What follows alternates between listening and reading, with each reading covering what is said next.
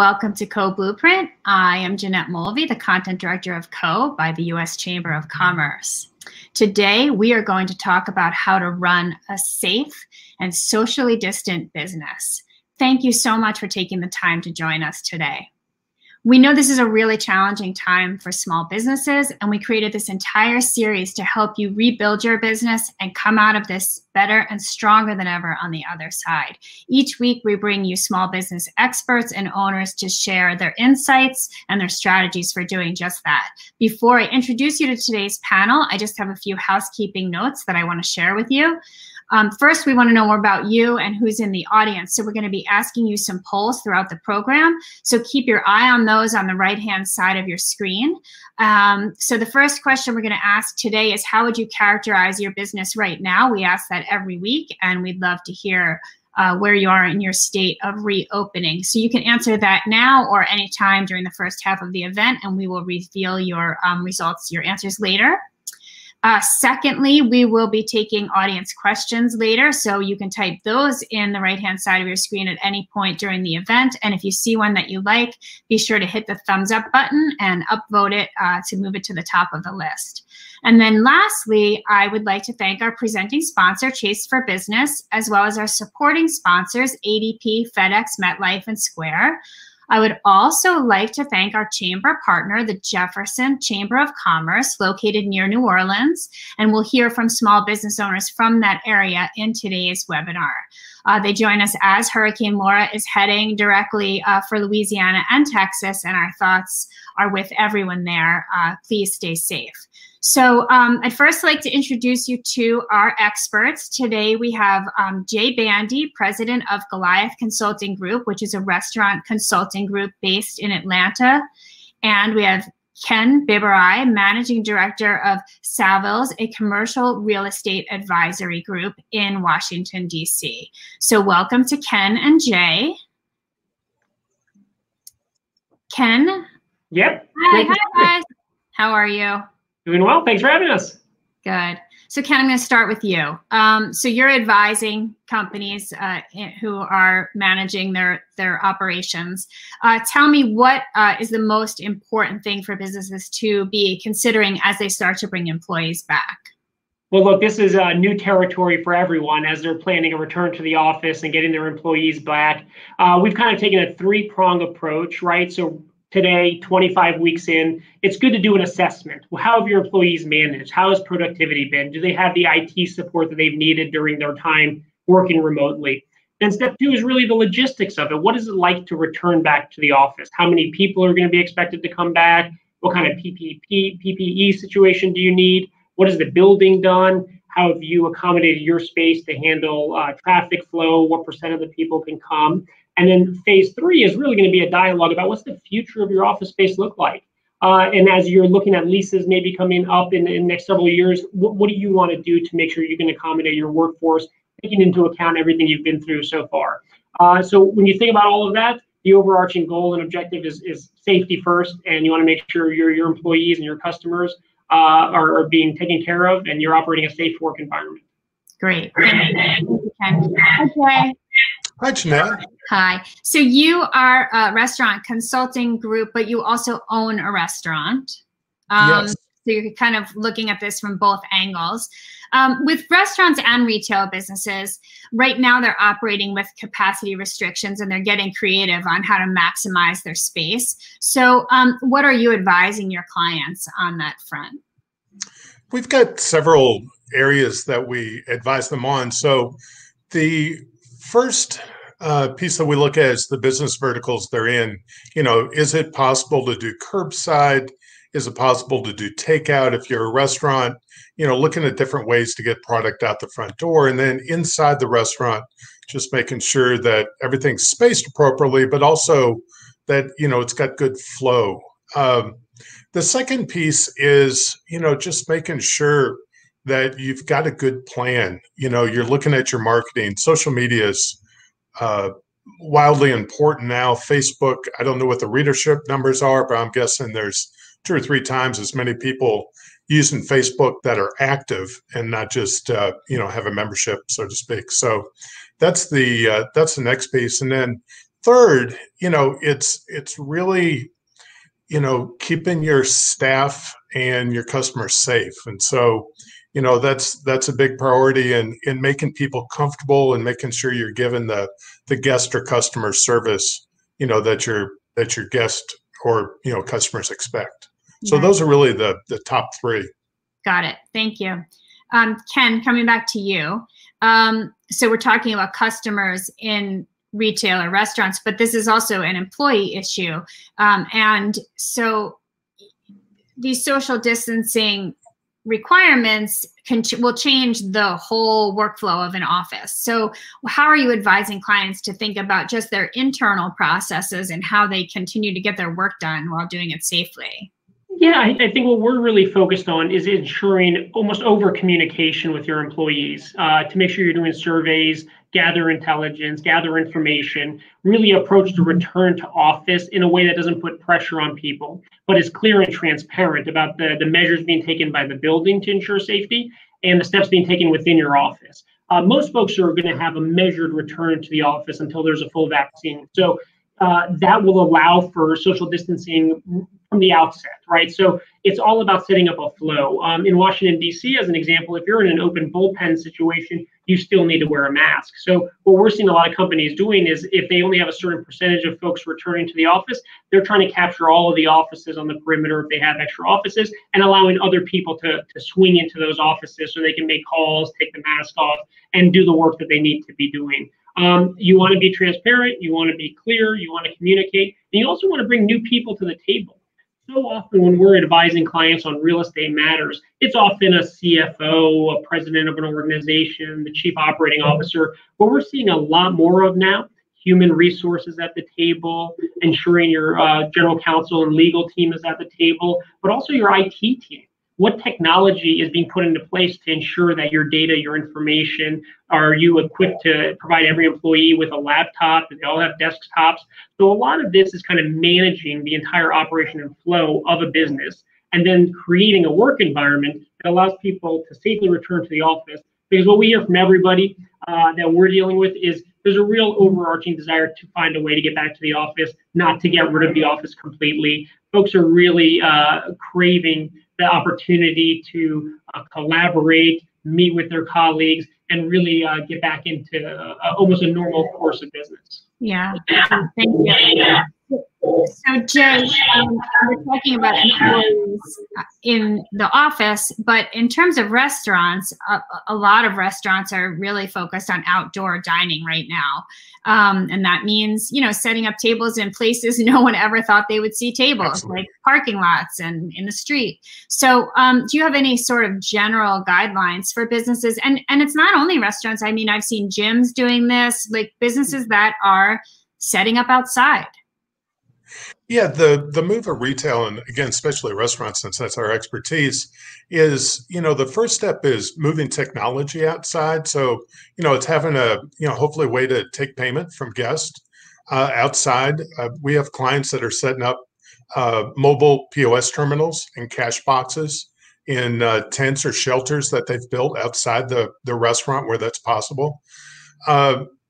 It's it's important also to look at your staffing because you you need somebody to be able to pay attention to that service area if it's in your parking lot if it's on your you know hopefully on your patio if you're a restaurant. But it's also having the personnel to be able to run product in and out of the the restaurant or retail space you know is important. So there's a staffing component to it.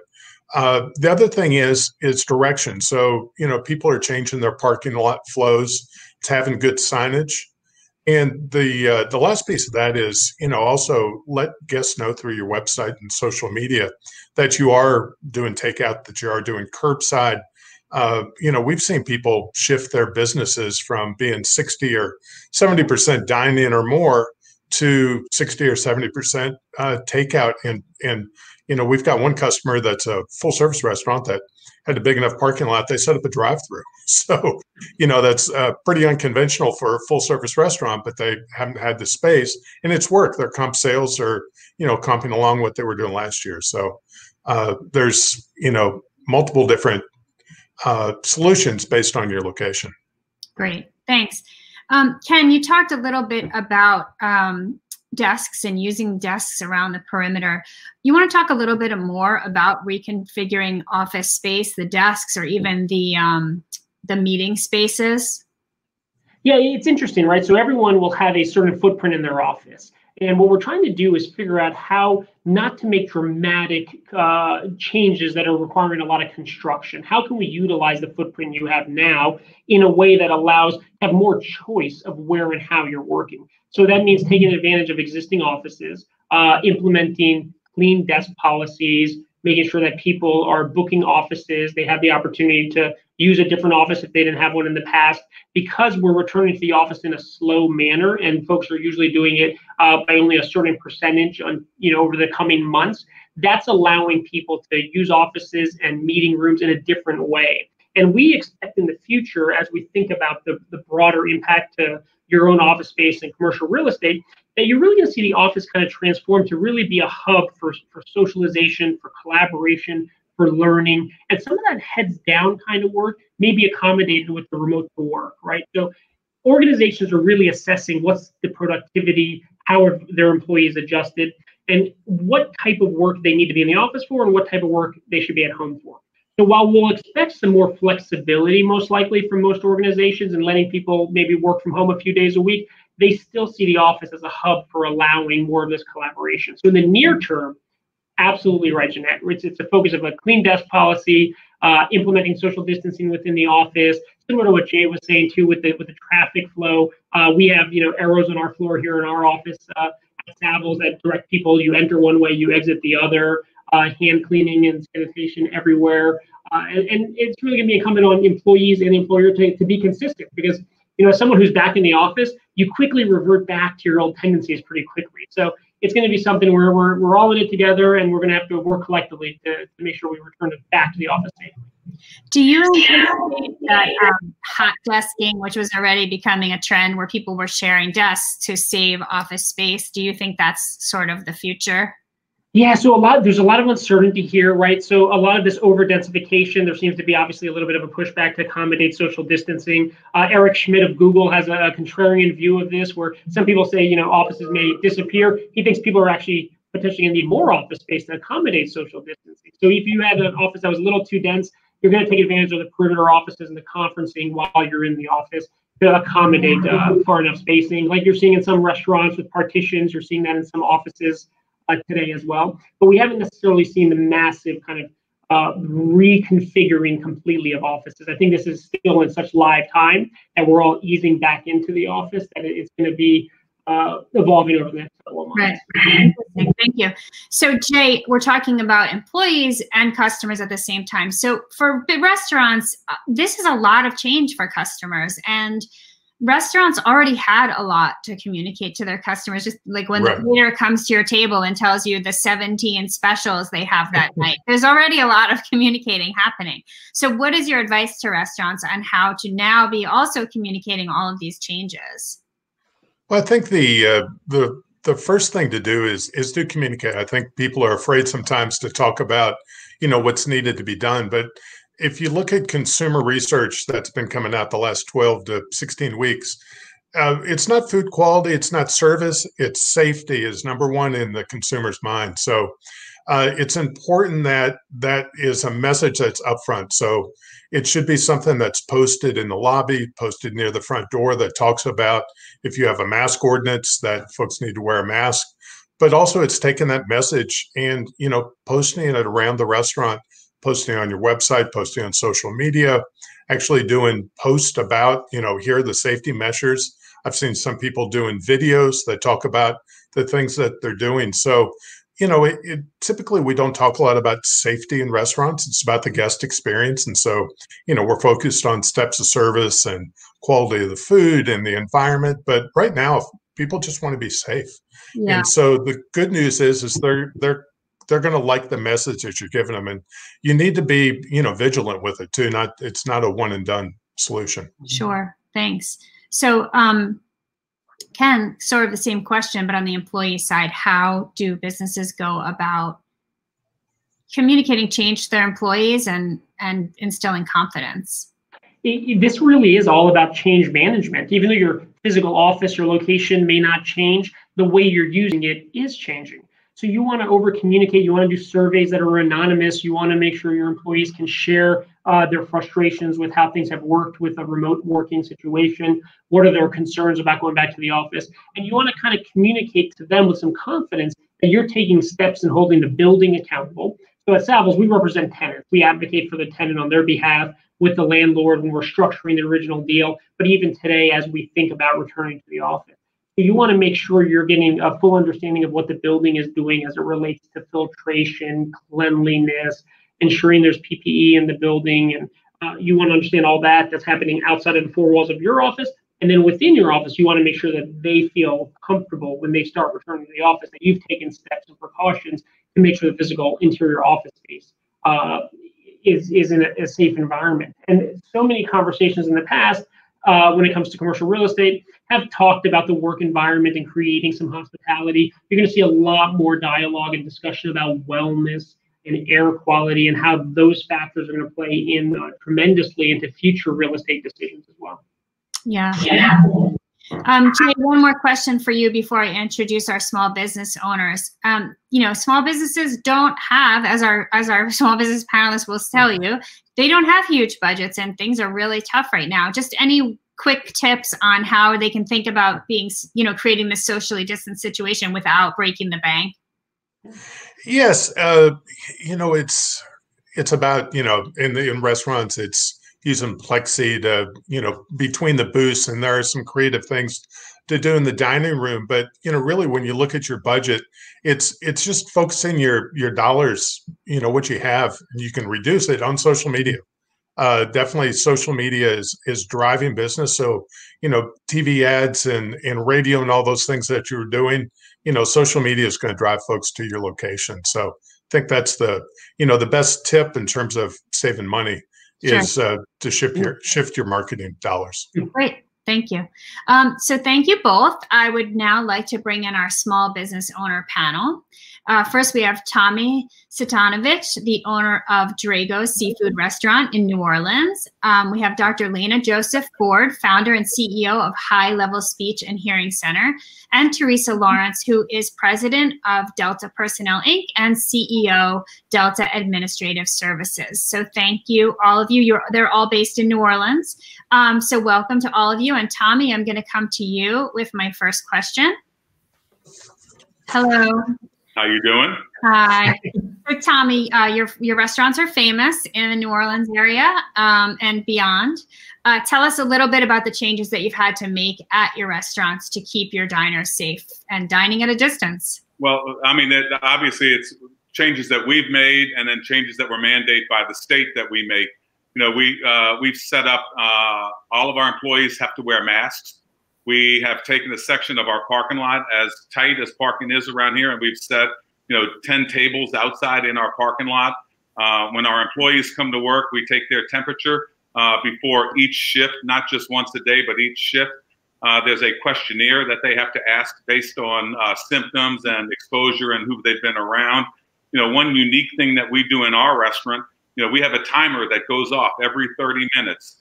And when that timer goes off, every employee in the restaurant has to stop what they're doing, even if they're in the middle of taking an order at the table, and go wash their hands. Simply tell a customer, hey guys, this is a mandate that we have. We've got to go wash our hands. I'll be right back, and I'm coming right back to finish taking your order or finish servicing uh, whatever they're doing. At that time, we also, you know, sanitize and wipe down all the customer touch points, the door handles, the, you know, the uh, the bathroom faucets, uh, the push plates on uh, on, on doors, anything that customers touch that we see, you know, we uh, we wipe down every 30 minutes.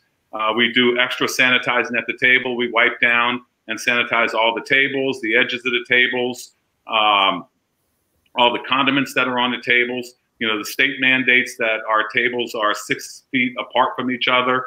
Uh, they mandate that we can't have tables of uh, 11 or larger, only up to tables of 10. Um, you know, we offer, if some people would like, we give them single use items. So if somebody doesn't want to use our china or our glasses, we've got single use items for them. You know, basically whatever, you know, and, and sometimes people come up with strange requests. Whatever they want, we're going to try to go out of our way to, uh, you know, to take care of our customers and make them safe and our employees at the same time. Great. Thank you. So, Lana, uh, tell us a little bit about your Speech and Hearing Center. And I just learned from you that you not only operate the Speech and Hearing Center, but a lot of your work is also done in schools. So maybe you could just tell us a little bit about that and then how you've changed your operation at the Speech and Hearing Center to bring people back safely. Sure. So, so we've been operating the Speech and Hearing Center for about four years now, a relatively new business, I would say. Um, so, of course, we had not lived through a pandemic, um, or I mean, we barely lived through a hurricane like we're doing right now, right? Um, so, so being a new business and having all of these new measures um, being mandated, it was definitely something that was new for us particularly because we were so used to working with children more than adults. And as you may know, working with children, they, you know, it's difficult to, it's easy to tell an adult, okay, don't touch, wash your hands, don't sneeze on me. Um, but not so much with children, right? So I, I would say all of that has been an adjustment for us. Some things that we've decided to do um, just to make sure that we are regulating or controlling more of our environment and still being able to incorporate a lot of the uh, changes that are requirements for safety during COVID 19. Um, one of the things we've done, of course, has been implementing a pandemic policy, which we've done through the help of Delta PEO Company with Teresa Lawrence, who's here today, but also um, requiring our employees to not only wear face masks, but also face shields and to always utilize gloves. Um, I mean, at, uh, before we had just the welcome sign and welcome mat at the front of the door. Now we have about three different signs about hand washing and um, do not enter if you don't have a mask. You know, these have become regular things. As soon as a patient walks in, uh, I mean, before we even say hello, almost, it's like, okay, you're taking, you're checking your temperature and you're cleaning your hands with the hand sanitation stations. Um, you mentioned earlier how expensive these things are for small businesses. That's so true. But it's it's the new mandate. It's the new requirement. So um, it's really important that all small businesses continue to incorporate these things just to keep everyone safe. It's it's very important for our health and safety. Yeah. Thank you. Hi, Teresa.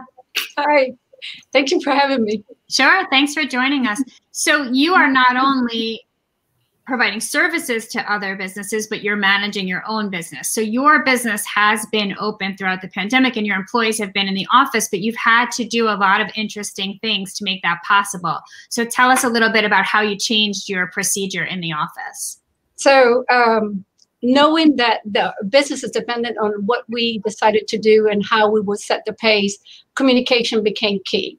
Uh, quickly, we got together and we had a plan set in place, and that plan uh, work for us, and I, I don't know if, if, if this could work for your businesses as well, but we designed an A and B group. So in essence, we had a group that came in, A group will come in Monday, Wednesdays, and Fridays, and B group of employees will come in Tuesdays and Thursdays. And then the following week, we rotate. The B group will come in Monday, Wednesdays, and Fridays, and then the A group Tuesdays and Thursday. And that worked very, very nicely as long as we had the policies in place of cleanliness. So disinfecting and making sure that we had sanitation um, uh, pumps everywhere and every uh, all the, the locations in the desk. We instill in our employees that although you are not using someone else's desk, someone else have, may have come by your desk and picked up a pen or picked up a paper. So every day they will disinfect when they came in phones and everything, and then when they left as well. Because this way, the contamination, uh, cross contamination, will be minimized. Uh, once we decided to bring the um, the staff back, now, when I started to tell you about communication being key, we continued to communicate and embrace technology as much as we could, although we were not all in the same space. So we used Zoom, FaceTime, uh, Teams, anything that was available for us to continue the communication and make sure that we were all stay in and singing the same song at the same time. So once we decided to bring everybody back, our risk manager took upon himself to design a floor plan of the whole building for point entry and point of exiting. So there will be no cross, uh, you know, we're trying to have a counterflow. Um, so everyone would be kind of conscientious of what door they came in where to get to their desk the quickest and not have a lot of crossover. So a lot of a lot of that uh, systems were put in place by a, a, wonderful Teddy Young. One of the things that he instilled in us was to make sure that we needed to have a culture that was comfortable to our level.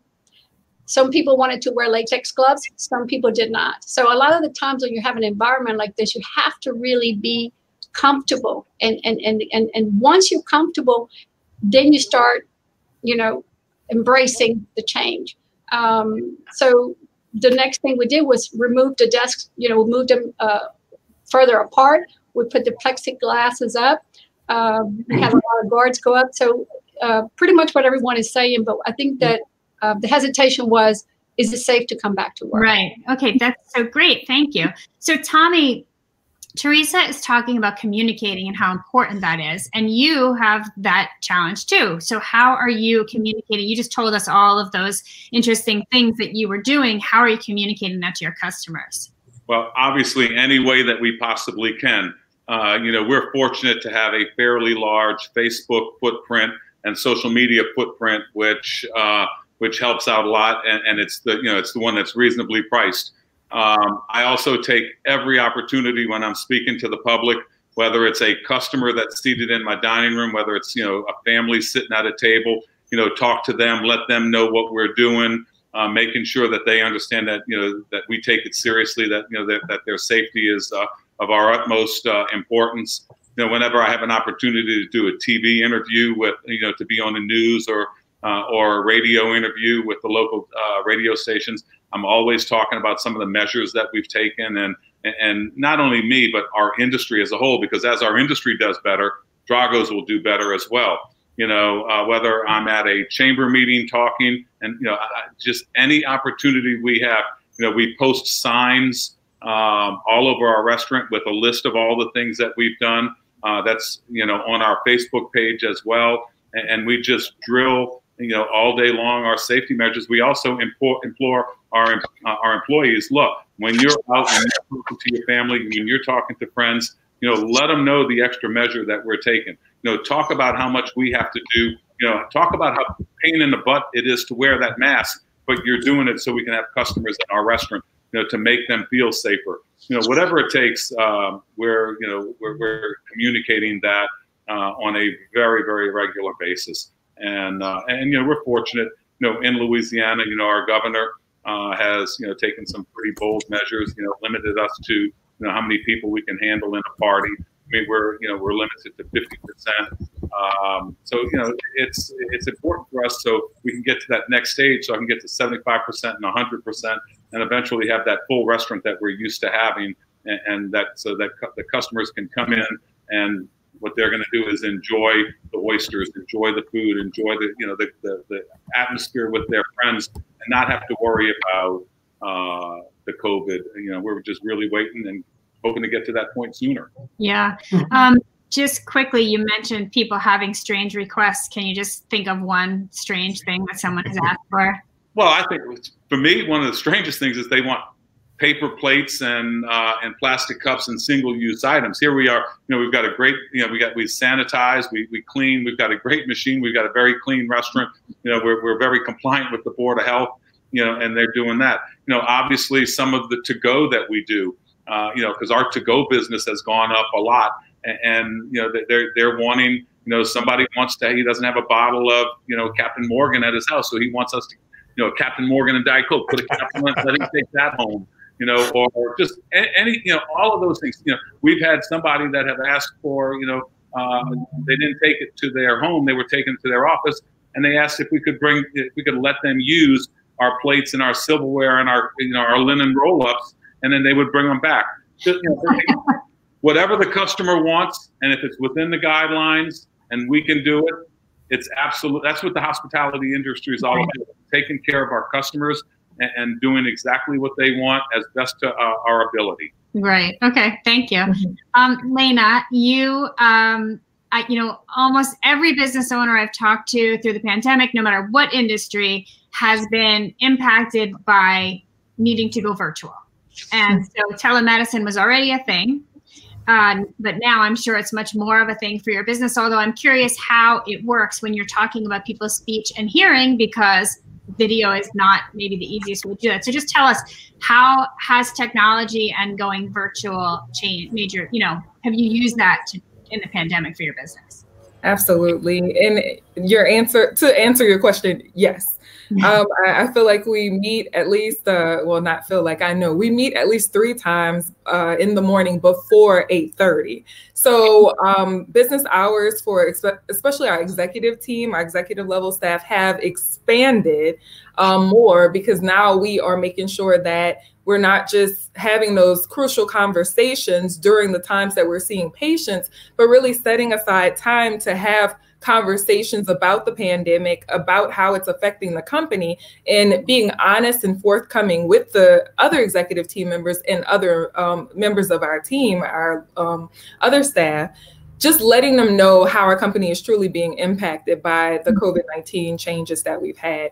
We've been honest with our patients up front. So um, we'll tell them. I know um, one thing that was really funny was when we first incorporated virtual appointments um, into uh, what we were doing. I, I, remember my first experience, it was a grandmother, and um, we called her and said, you know, hey, Miss So and so, we would like to have your grandson attend one of our virtual appointments. And she's like, virtual what is that baby? You know and we're like oh it's like facetime just uh, you know we'll do speech and hearing. And she's like oh okay.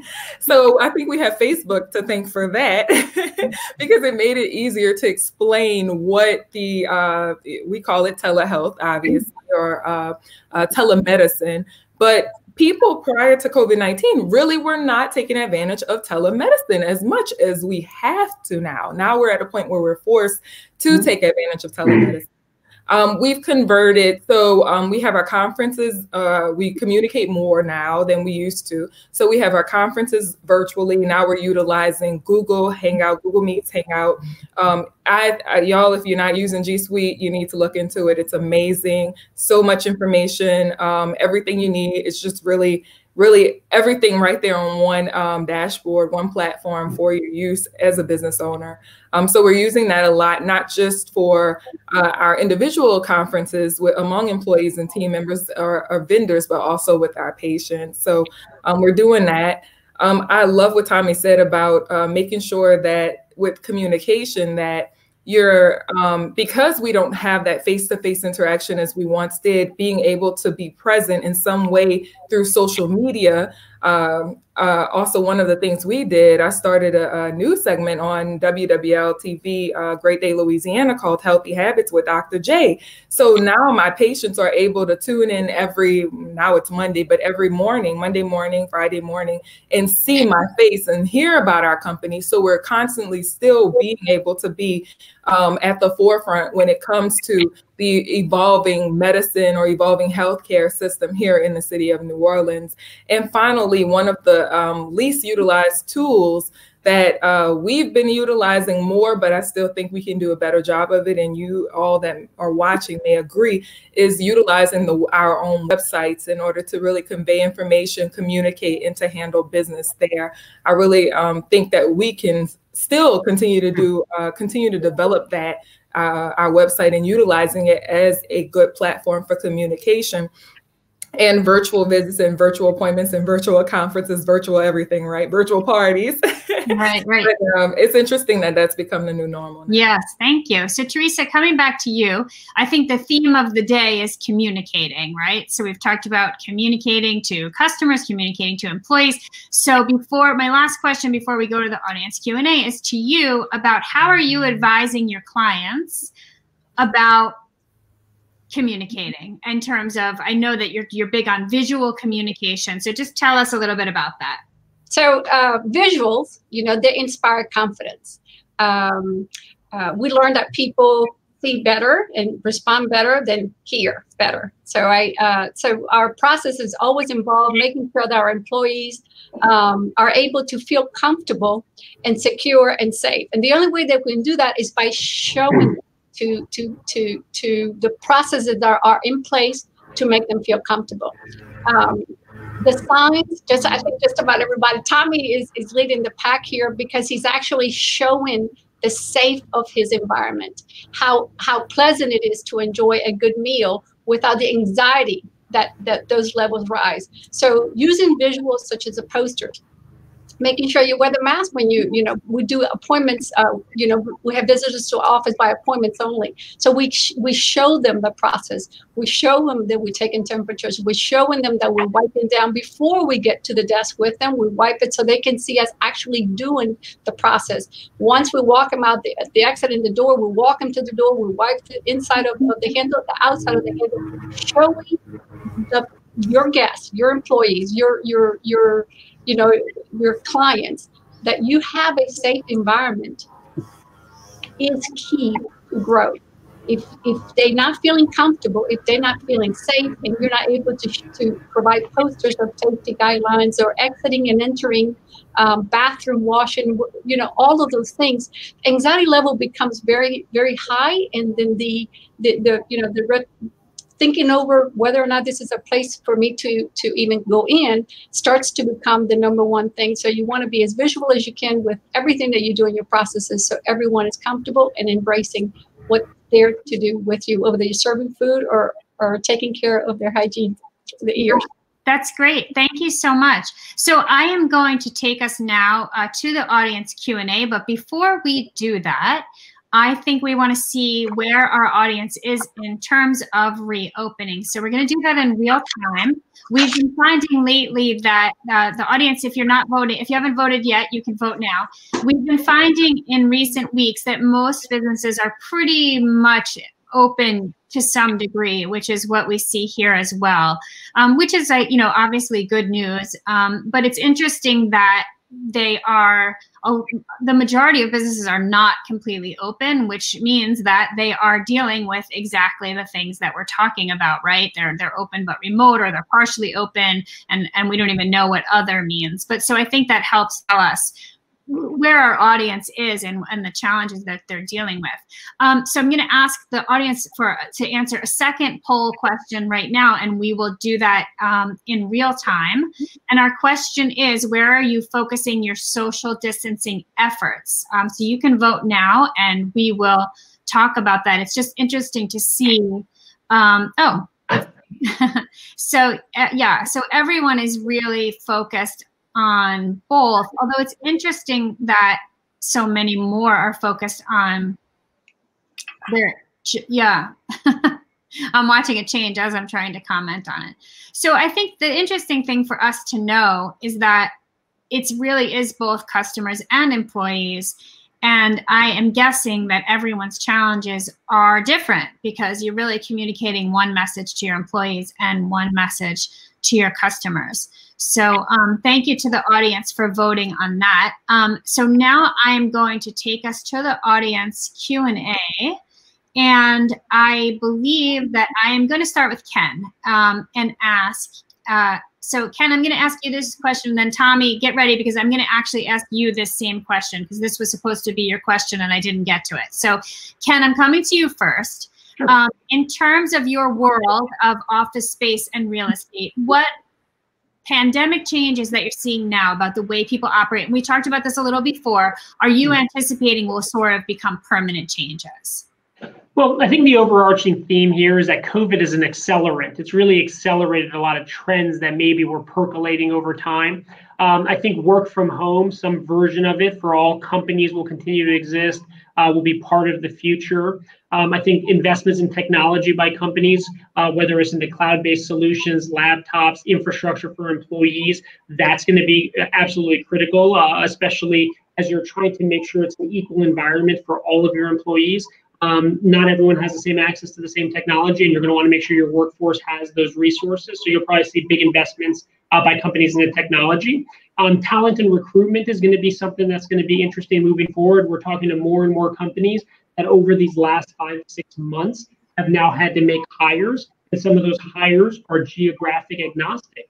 Uh, there, these are companies who uh, have founders who were always focused on, you know, butts and seats for productivity and have had to adapt during this time and now realize that maybe they can have some ancillary functions uh, hired out of state in, in different pockets of the country. So you may see more of an evolution about where the employees are and how you're recruiting and retaining talent. Uh, and lastly, I think the overarching theme from our perspective is that the office isn't going anywhere.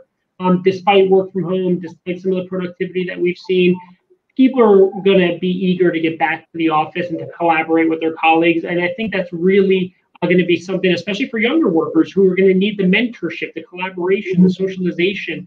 And if you're an organization, you're trying to build culture, it's going to be important to still have a, a place that you can use to bring people together and promote your mission. Yeah, thank you. Tommy, um, same for you. What changes are you making in your business that you think will be permanent? Well, you know, unlike what Dr. Lana has, where she can do telemedicine, they haven't yet invite, invented uh, telesmell and teletasting. So, uh, so we can't do that. But some of the changes, you know, our business, uh, our to-go business has gone up tremendously. You know, we've, you know, we've kind of configured our menu. We've, uh, we've gone to new packaging you know, which makes it more appealing. So customers will say, "Man, this was good. Let's get this again tomorrow." Or you know, so so the packaging, you know, uh, of the way we do to go and, and and the extra care and emphasis that we put on to go is something that I definitely see moving forward. Um, you know, we have, you know, if I could get people to sit in my parking lot right now, if I got 10 or 12 tables out there, uh, we're, we're going to put a patio out front. We've already started uh, the plans. You know, we have a piece of property around the corner that uh, we're going to tear down. We're going to turn that into a parking lot. We're going to, so we have to replace the parking that we're going to take with the seats. So uh, we're going to add a patio in front of our restaurant. It'll be landscaped. It'll be set up nice. Obviously, you know, we're in New Orleans, so we need heaters and we most importantly need, you know, fans and misters. And we'll probably put a couple TVs in there so we can watch all of our Saints touchdowns and, uh, and, and stuff like that on the TV. So we'll do a really nice patio outside.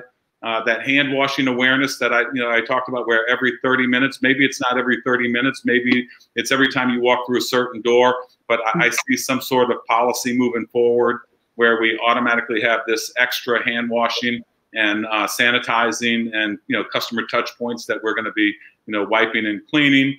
Um, obviously, uh, you know, if you've been in our restaurants before, our tables are very close together. Mm-hmm. Uh, in the past, where sometimes they were two to three feet apart. Uh, for a while now, we were when we were at 25% occupancy. You know, our tables were 10 feet apart. You know, now our tables are six and a half feet apart. You know, once we go to phase three and phase four, and and uh, and COVID is pretty much behind us, I probably think that Drago's our tables are going to be you know four feet apart, maybe five feet apart. You know, to make our customers feel better. Where oh man, that guy next to me, you know, he's coughing or sneezing or whatever to you know kind of put our customers at ease. The last thing I want is for a customer to walk out of my restaurant, you know, after COVID and say, "I'm not going back because I wasn't safe. I didn't feel safe." That table next to me, you know, they were just it was this or that or whatever. Um, so I think our tables are going to be further apart. And, and, again, whatever the customers need and want, whichever way we see that, you know, we're we're business people, and that's that's what that's what we that's what we do every day uh, is try to do the best we can to take care of our customers, make sure that everything we do is about for the customer, uh, because the better job we do, the more often they're going to come back and the more successful we're going to be. Great. Thank you, Tommy. Um, so, Jay, I have another restaurant question. This person, so this person is asking what happens with outdoor dining in the winter. So, just what are some of the creative uh, ideas you're hearing? Yeah, that's going to be a big challenge, especially in, in colder climates. You know, where winter's winter. You know, living here in Atlanta, we uh, we might see snow every couple of years. And I'm, I'm, you know, one of the things I'm surprised about is I did a I did a survey uh, two years ago. We were working on a outdoor restaurant here in Atlanta that was going to be mostly outdoor, and people are good to do 45 or 50 degrees outside, which is good news if there's heaters uh, for outdoor dining. So that's some good news uh, that I can share. Uh, you know, just some, through some research we did. But you know, if if you haven't looked at your menu now, and again, you, you know, you're feeling pretty good and you are getting people to eat outside. I think one of the things is really to look at you know things that were successful back in March and April. You know, bundling meals, family meals. You know, making sure you're packaging right, making sure your food travels well, because survival is still going to be you know, if if dining, you know, dining rooms are closed come winter, you've got to have a way for people to feel comfortable about getting getting your food through delivery services. And I think that, you know, is something that there's time to work on that between now and, you know, when fall and winter hits. depending on where you're located. That would be the thing I would work on right now. Is if you haven't made that pivot to uh, to take out in a big way and deliver in a big way, now's the time to to do that work. Yeah, I would imagine whoever owns the inflatable igloo company is uh, experiencing a serious spike. um, so let's see. I, uh, Lana, this you mentioned kids and how difficult they are, and I know for sure they are. Um, this person's asking, in general, not just about kids, how to enforce social distancing and um, you know, be polite and keep your customers happy, but also get them to follow the rules. Sure. So, so um, the interesting thing about kids, um, we thought that we were going to have a huge uh, issue with getting them to buy into the idea of wearing masks. So we, uh, like I mentioned before, we work a lot with schools, we work with daycare centers. And interestingly enough, the more conversations that we had with the daycare owners, they continue to express to us that it was the adults that were actually having more difficulty keeping their mask on than the children. so, um, and I, I, believe that's because kids are neuroplastic. They're um, they have neuroplasticity, which means that their brains can easily adjust. So, I think um, getting the children to buy into the idea of wearing masks has actually been much easier than getting adults. So, if the majority of your customers are kids, you're good. You're good to go.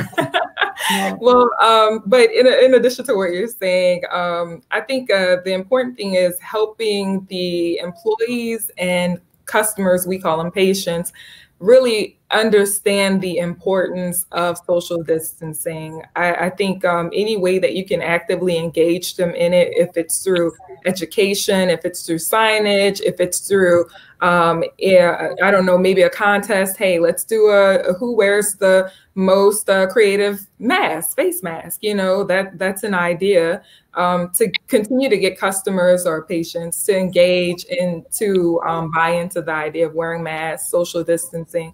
Um, you know, there's so many other things we can do virtually. It, it, just going into the whole virtual uh, concept, it has not only, well, I know for my business for sure, it has not only created a, a, an additional source of revenue for us, but it's also allowed us to have increased access to even more of a customer base. So now, whereas transportation really limited us, now we don't have those barriers of entry where um, before we were really strong advocates of getting people access to medical care. Now these virtual appointments and uh, social distancing has actually made it an okay thing to do um, in this new new society that we have. Great. Thank you so much.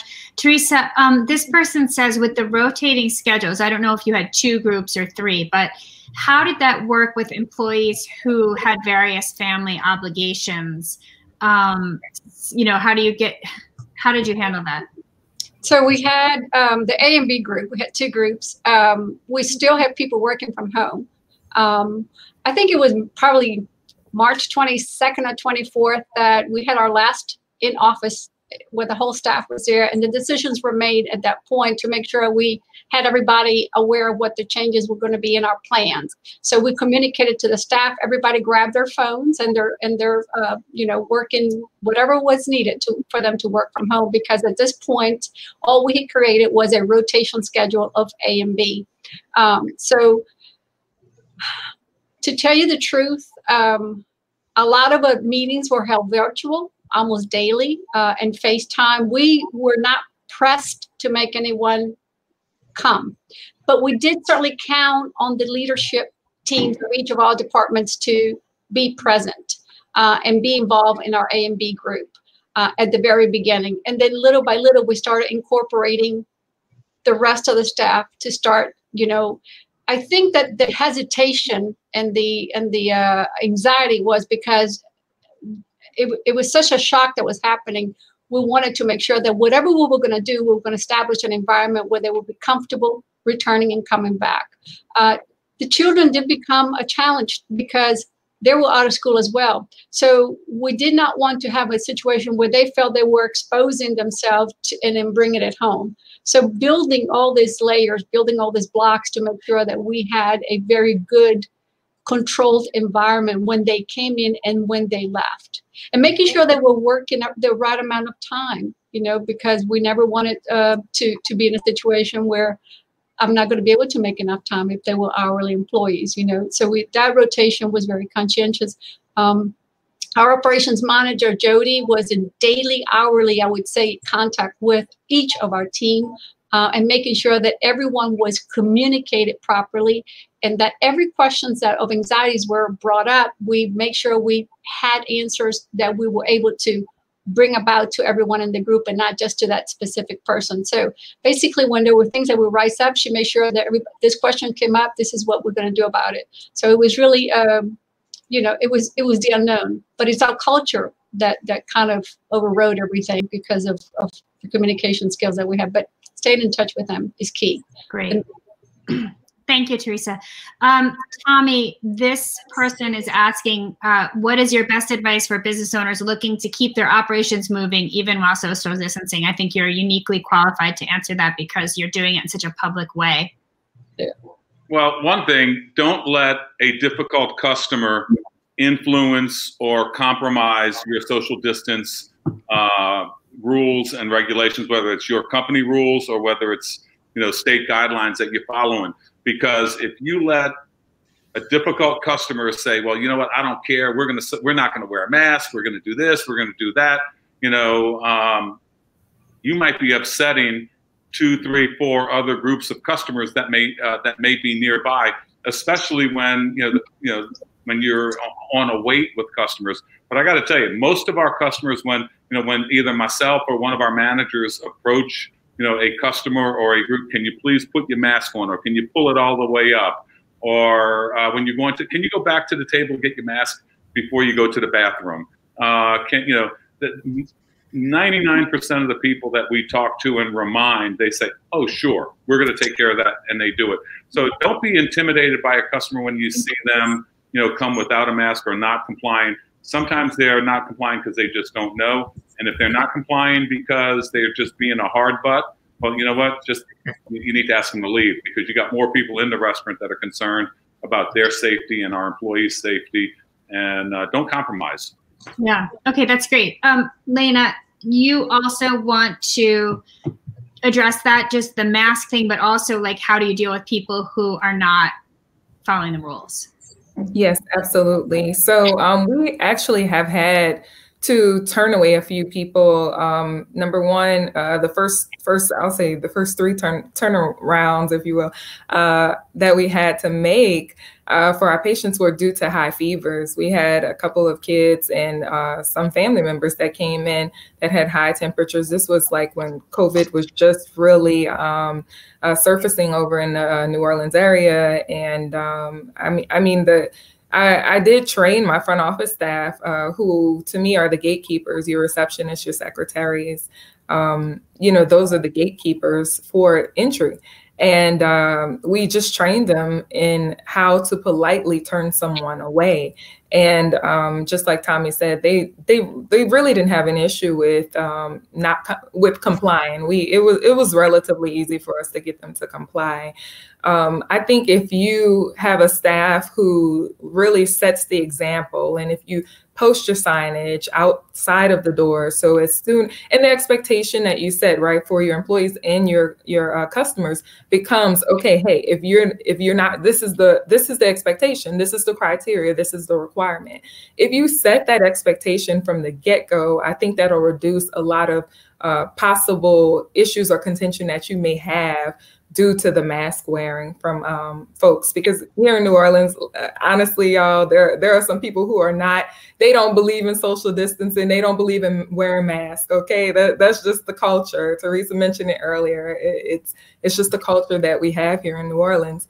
Um, but but part of our culture is also uh, being uh, that Southern hospitality, um, kindness. So I think that um, if we show people that respect respect and that kindness up front, then will reduce the chances of having any type of really major issues develop due to the mask wearing. Yeah, thank you. Ken, um, I'm going to come to you with that same question. Just any advice on how to deal with customers who aren't compliant with whatever aspect it is of Well, we're starting to see it more so on the office side now as we're uh, taking clients out to go tour spaces, visit buildings.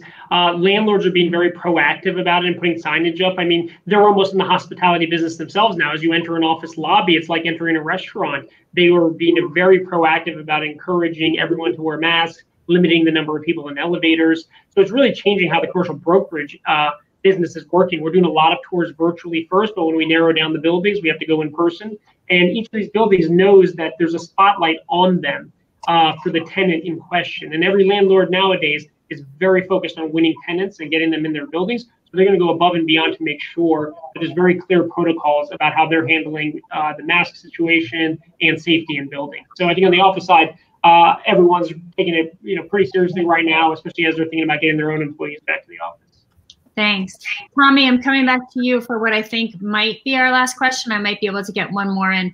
So the audience, someone's asking, and I've had this experience myself. How so? If you go into a store or a restaurant or anywhere, and the workers aren't wearing their masks properly, so mm-hmm. they have it on, but it's not covering their mouth or it's not covering their nose, and you as the customer feel uncomfortable they're asking how would you as the restaurant owner have the customer address it with the employee? Like should they address it with the employee directly? Should they go to the manager? Like what's the best way to handle that so it doesn't become a thing that ruins your dinner? Whatever works the best and the fastest to satisfy the customer. Mm-hmm. Whether it's you know you eh, eh, eh, i have no problem with a customer saying hey can you please wear your mask up or can you have it a little tighter? If a customer came to me and said you know what that that waiter, his mask is kind of open a little bit. You know what, ma'am? We'll take care of it. I'm going to get a new waiter on the table right away. Take that waiter off on the side. Say, look, you got to wear your mask. Give them other tables and and and, teach them. And, and, you know, one of the things uh, that I, I wanted, you know, New Orleans, the metro area here, we were one of the hot spots in the country for the longest time because of Mardi Gras and, and the festivities and, and the closeness uh, early on in February this past year. You know, New Orleans became a hotspot really, really fast. I'm going to tell you, the mayor of New Orleans made some very, and our governor made some very unpopular decisions and uh, and rules. But one thing you can't argue with, they worked. Masks work. As much as I hate wearing a mask, they work. And New Orleans now went from being one of the worst hotspots in the country to being one of the best places in the country because our people listened and our people followed instructions. And yeah, you're going to get one or two knuckleheads that are not going to listen, but that's everywhere. But for the most part, the people in this city and this metro area have listened, and, and now we have some numbers that we're proud of. And, and, if you look at the graphs and the numbers in you know our positive cases now, they, they're just plummeting right now. And you know our hospitalizations are way down, our ventilators are way down. You know, deaths are you know are, are way down. So you know, we're definitely on the right track. Obviously, we're going to get a little bit of a bump now that school starts, but uh, but it's going to go back down, and it's because the people, for the most part, are listening. One or two knuckleheads, there's nothing you can do about those guys. Yeah. Thank you. Teresa, I have just one minute left to, to get this answer. For This is a lightning round for you. Um, just, I know that you have feelings about the, the need to have a policy in place that helps enforce this. So can you give us your one minute take on what, what people need to do to make that happen? So you need to create a COVID-19 policy for your handbook. Uh, COVID-19 is, a, is just as new to you as it is to the business. So if, if you could get with an HR manager to create a policy and make sure you're very um, circular about it. Uh, the mask, the distancing, uh, and, and what it is, what will cost them not, you know, you have to have a reaction to an action. So if this is not done, this could be you know, this is warning number one, number two. You follow it just like you do all your policies, um, but put that in place. A lot of a lot of employers forget that they don't have that in place. So when they are faced with a confrontation or a situation that I want to go travel, like a travel policy, COVID travel policy, um, you know, whether you're going by plane, by car, what it, whether what do you want to do with that? If they're going by plane, do you need to quarantine them? Do you, you know, all of those things. Um, I think the employers forget that there, there is no policy, there is no base, and there is no backup um, to, to, to, to, to, that process. So that's new, and we need to have all the uh, companies rethink their position and make sure they put that in their handbook and implement that as part of, of the policy moving forward until things change. I think that is excellent advice and a great place to end it today. Um, so I want to thank all of you, uh, Jay, Ken, Tommy, Lana, and Teresa. Thank you, thank you so much. You. Um, I'd like to thank our presenting sponsor, Chase for Business, as well as our supporting sponsors, ADP, FedEx, MetLife, and Square. And thank you to our chamber partner, the Jefferson Chamber of Commerce. It has been great to hear from business owners in that region today. And most of all, to our audience, thank you so much for joining us. Please join us again um, Wednesdays every other week. So in two weeks on Wednesday, September 9th, where we will be discussing how companies can reshape their brands for a post-COVID world, which can't come soon enough. meantime, check out the great resources that are available uh, on this webpage from the U.S. Chamber and our presenting partner, Chase for Business. Together, we will recover and rebuild. See you next week, and thanks, everyone. Bye-bye.